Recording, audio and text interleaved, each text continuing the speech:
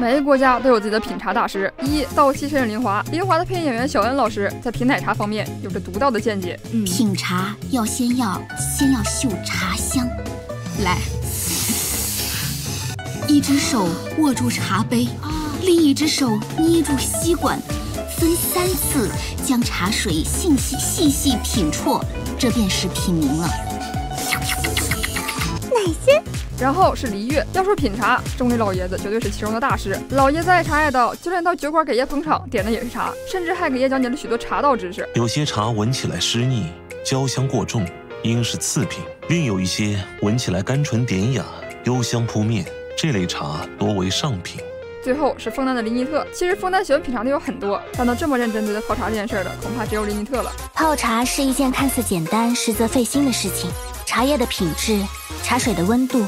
冲泡的次数，只有所有的变量都控制恰当，才能泡出味道最纯正的茶。至于蒙德，那就要问全能的女仆诺埃尔了。交给我吧，什么都可以交给我。